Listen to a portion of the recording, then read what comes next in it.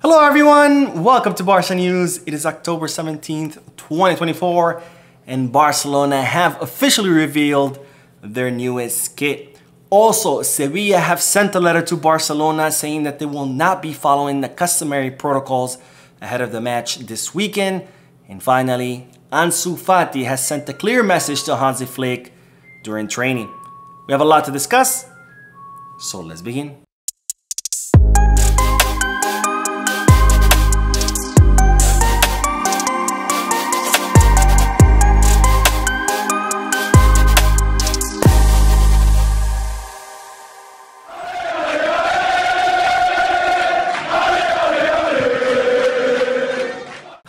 Everyone, welcome to the channel. My name is Mo, and before we begin with the news, just a quick reminder to make sure to hit that like button, subscribe to the channel, and drop a comment.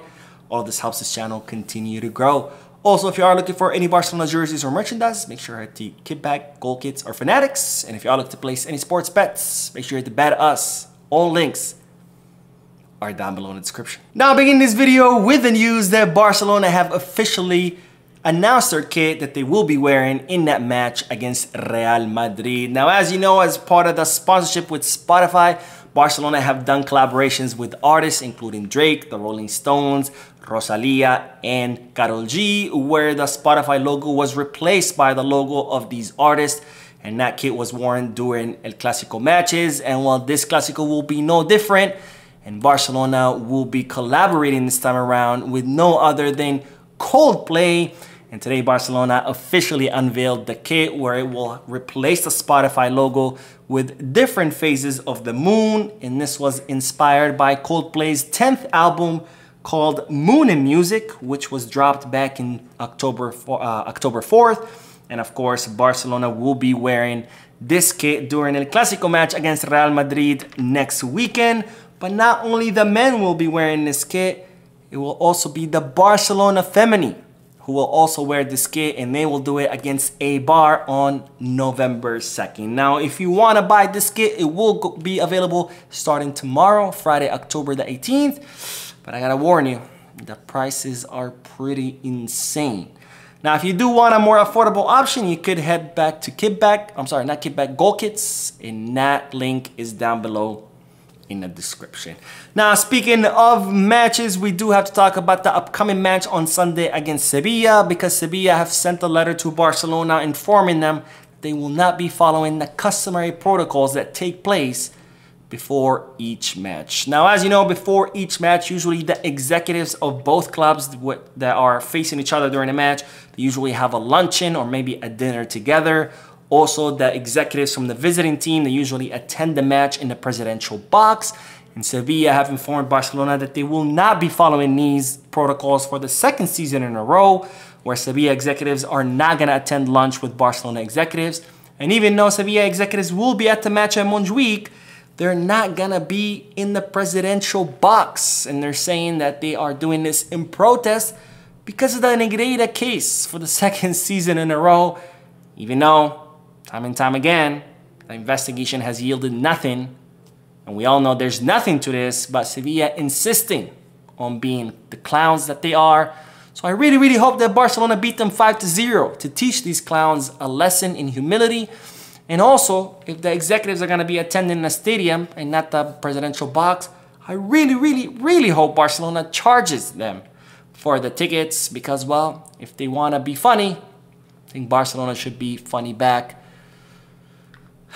My God. Anyway, speaking of the Sevilla match, ladies and gentlemen, it's been revealed that Barcelona's newest signing, Wojciech Szczesny, it has been declared 100% fit and he could possibly start during the match. Now, this was a bit of surprising news because, of course, we cannot forget Szczesny was in retirement and he just got out of retirement. He's just arrived in the club like two or three weeks ago.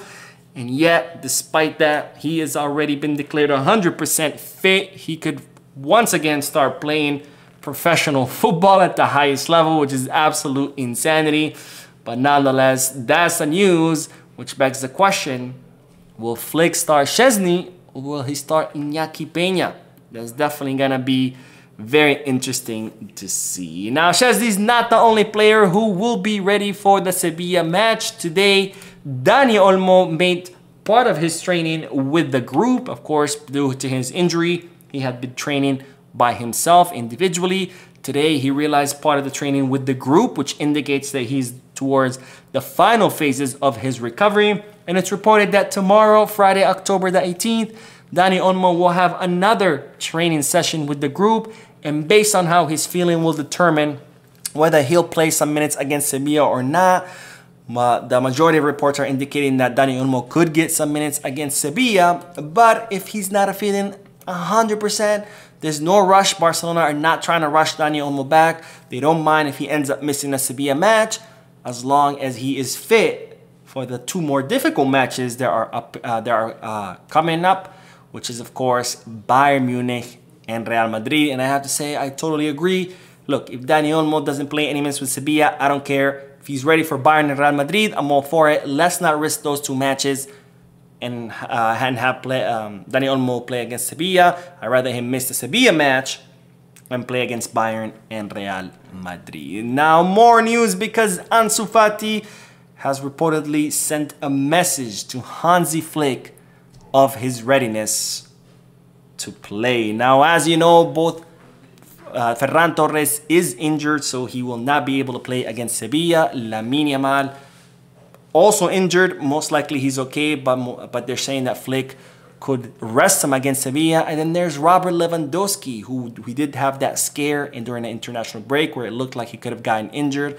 And even though the medical reports have stated that Lewandowski is not injured, there is a chance that Flick could be resting him.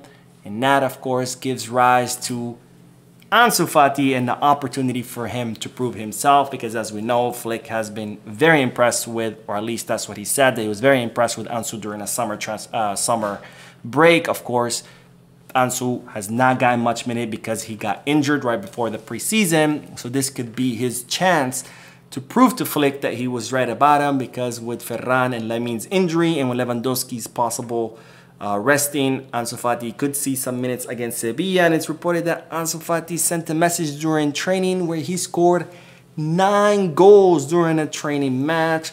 Again, sending a message that, hey Flick, I'm here, I'm ready, and I'm ready to prove you right.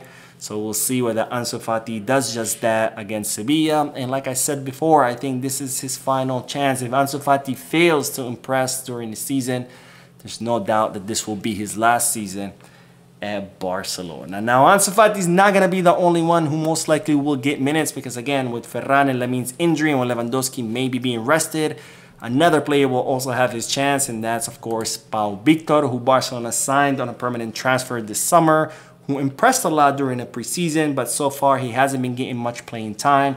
He got his first start against Osasuna in that loss 4-2, where he scored his first official goal in La Liga.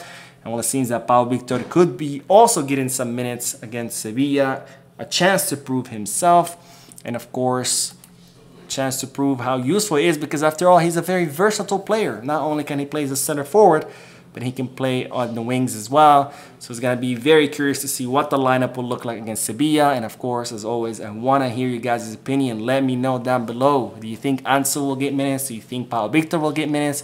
If so, do you think it's going to be in a starting position as a sub? Let me know. Anyways, that is all the news for this video. Don't forget to hit the like button, subscribe to the channel, drop a comment. And as always, Visca Barça.